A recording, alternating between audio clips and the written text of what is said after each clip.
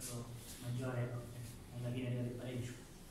Eh sì, ha detto tutto lei, nel primo tempo avremmo meritato ampiamente di, di fare più gol, però è stato un, un, un, errore, cioè un errore nostro non chiudere la partita. Poi nel secondo tempo appena siamo rientrati abbiamo preso sull'unico errore in pratica di tutta la partita nella fase difensiva abbiamo preso gol e, ma nonostante la superiorità numerica non siamo riusciti a segnare.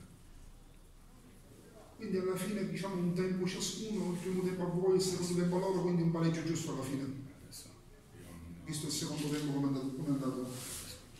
Dire che l'Agras abbia giocato meglio di noi il secondo tempo. Poi l'Agras non ha rubato niente, ha fatto la sua partita, però avremmo strameritato di vincere il primo tempo, avremmo meritato di vincere nel secondo.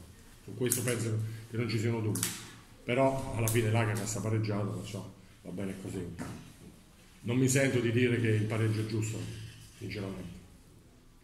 Prego. Se alla fine ha fatto entrare anche Alfa Geme, si è molto impegnato, però non ha trovato spazio. L'Agres si è difesa bene nei minuti no, finali. No, l'Agres negli ultimi 20 minuti ha fatto bene. Abbiamo avuto un paio di occasioni, una anche con Alfa Geme. E in un altro paio di occasioni è stato bravo il portiere, abbiamo sfiorato il palo. E poi diventa difficile perché i minuti passano e cresce il nervosismo e sale soprattutto l'imprecisione.